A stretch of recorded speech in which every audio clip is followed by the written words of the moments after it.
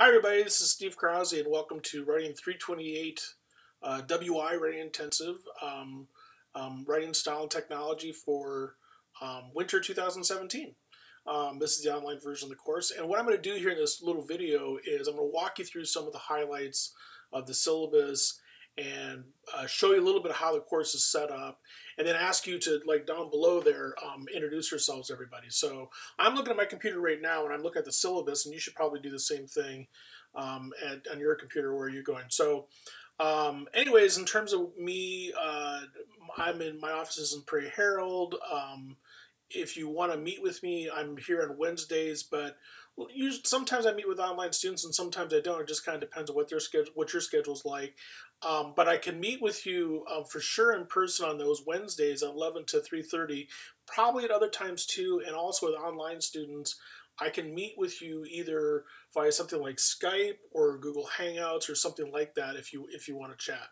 Um, this is the course description. This course is about this notion of what is style. What how does it sort of figure into writing and rhetoric in a bunch of different ways. There's two required books. One is the Strunk and White Elements of Style, and then the other one is Style, um, The Basics of Clarity and Grace by Joseph Williams and Joseph Bizup. Actually, it's really originally by Joseph Williams and revised.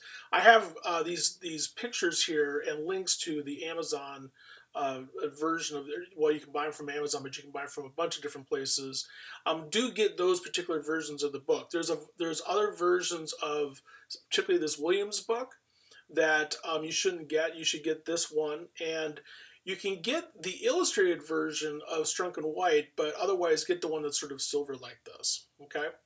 The other thing that you need to do that's important is two, two of the things that you should do that are important. The first thing is is that uh, there's because there's a lot of things I'll be reading that are PDFs, and you should have some sort of way of reading your PDFs. Um, don't just read it on the screen. So if you, there's basically two ways to do it. One way to do it is the old-fashioned way, which is to print it out and take out a pen and take notes on it and things like that.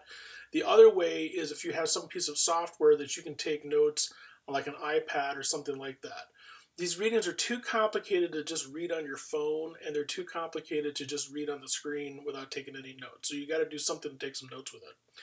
The other thing that I want to mention that I'm experimenting with this semester is in addition to um, uh, the, the books, you need to sign up for a subscription to a service called Eli Review. We'll start figuring out how to do this um, as the class gets started, but this will be cost $25 um, and it's a service that we'll be using to really facilitate peer review in some interesting ways um, we'll get to the details of that in a little bit one thing i always like to highlight here is the notion of the way that the online class works the format of it um, 328 online is not a self-study class. It is not something that you do at your own pace. Rather, it's an online class, which means that it allows us a lot of freedom in terms of when we when you can interact with it and things like that. But it is not the kind of online class that you can just do it whenever you want. Okay, and um, there's two really important implications about this. The first is is in terms of online attendance and the online format. You have to be present during the course of the semester every week. And if you're absent, that is, you don't appear in any of the comments discussion forums for um, for four times. I will dock you um, 30% of your, of your grade for participation. That is, if you're completely gone between Monday and Wednesday and between Wednesday and Friday, I'll dock you for participation. Okay, if you do that more than five times, um, you'll you won't be able to pass the course. The reason why this is important is because I've had students in the past who've basically just been gone for a month, and then they came back and wondered why that would be a problem, and that is a problem. The other thing about the online class that's really important is, is that you have to be uh, computer savvy enough on your own to do it. I can't come to your house and lend you tech support.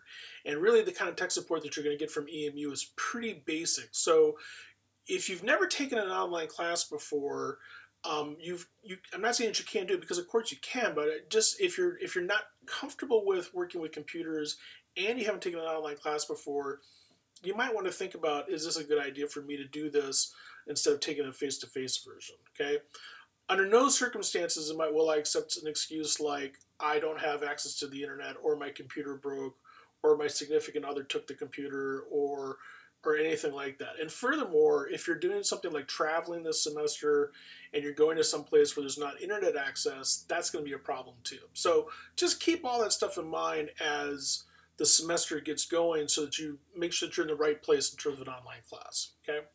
Uh, the online discussions were 250 points of the semester, and, and I describe what this is here.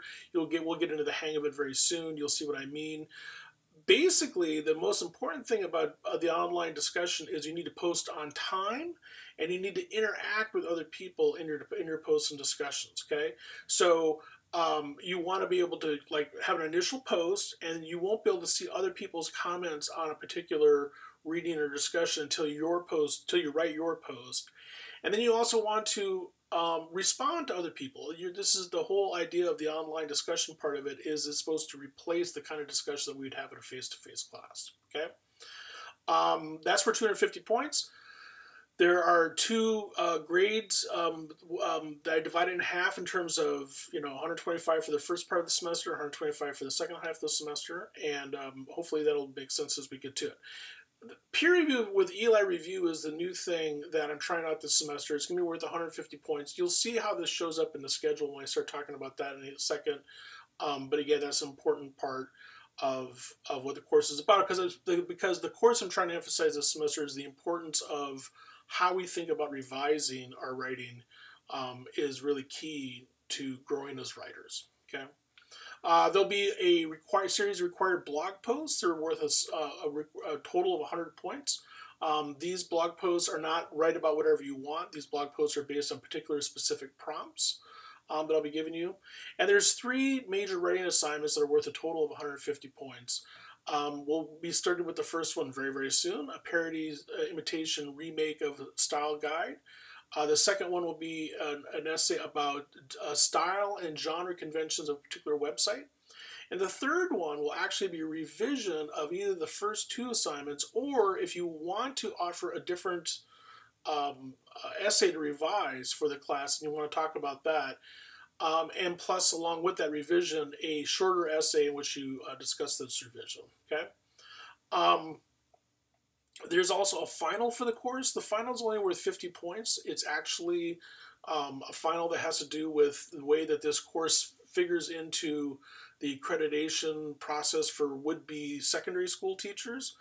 Um, it's a very, very easy final. Um, as long and the, and I guess the best way to put it is as long as you do the final, um, it cannot hurt your grade. You'll see what I mean when we get to it um, at the end of the semester.